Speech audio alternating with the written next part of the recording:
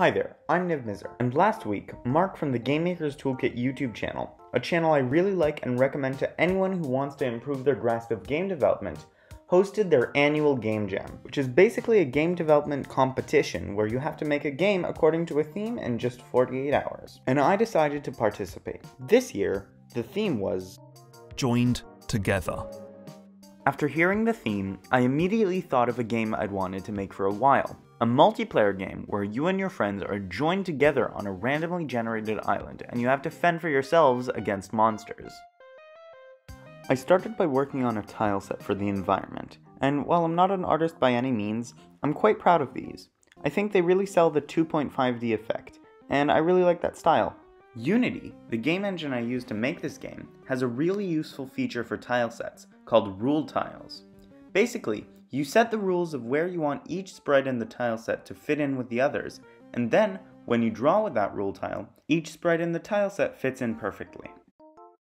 Here you can see that I coded this simple randomly generated island script, based off of a tutorial by Sebastian League, link in the description, that creates a random island with little lakes, trees, and rocks scattered around it. It's nothing crazy, but it works great for such a short time limit. Next I added a player, and a movement script to let him move around in this random island.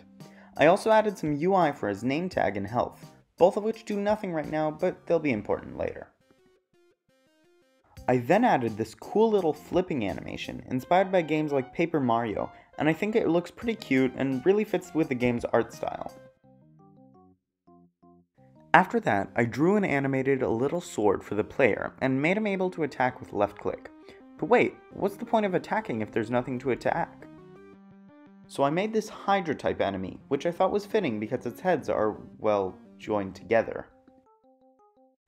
I then used the tried and true game dev technique of slightly changing the color of the enemy to make it look more powerful, and added two more heads to make this stronger Hydra, and I think it came out pretty cool. Now, at this point, a lot of the game art was starting to look kinda ancient Greek inspired. No, no, no, get out of here, Kratos, you're from a different game. Anyway, this gave me an idea for the name of the game Argolis. In Greek mythology, this is the name of the island where the Hydra comes from, so I thought it would fit because both of the enemies in the game are Hydras. Anyway, I added the Hydras into the game, and coded some simple AI for them as by this point I didn't have much time left in the game jam, but I still really wanted to add some multiplayer into the game. I also made them able to attack the player, damaging him and knocking him back. I also made it so the player can deal damage to the Hydras by attacking them with his sword. Also, at some point in coding this, I gave the player way too much knockback, and uh, this happened. I like it, cut G. Next, I worked on adding multiplayer into the game. Now, this is what took up a large majority of the game jam time, as I had to make all the systems in the game work with multiplayer in mind from the player's attack animation to the world generation itself. This was tough, but using a great tutorial by Liam from the amazing YouTube channel Blackthorn Prod, link in the description, I managed to get what you're seeing on screen finally working. Two instances of the game with two players on the map playing together. Unfortunately, this is also the main reason why the game doesn't really have much of an objective. In only 48 hours, basic gameplay has to take priority, and I ended up running out of time and didn't have time to make a boss like I planned. I do plan on updating the game later though, so leave suggestions for what I should add in the next version down in the comments. I then took the last couple of hours of the jam to polish the game up, add menus, add music, which is by the way the music that you've been hearing in the background in this video, and overall making the game feel more like a game and less like a tech demo.